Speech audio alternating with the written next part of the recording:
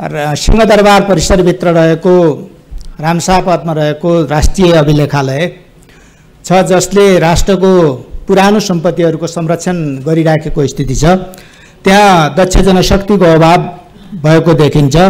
भौतिक पूर्वाधारहरूको पनि समस्या देखिन्छ र प्रविधिको पनि त्यत्तिकै समस्या रहेको देखिन्छ र आर्थिक रूपले त्यहाँ समस्या रहेको देखिन्छ र तालिमको व्यवस्थापन सहित त्यसको व्यवस्थापन गरेको खण्डमा राष्ट्रको सम्पत्ति जोगाउन त्यसले महत्त्वपूर्ण काम गर्छ धन्यवाद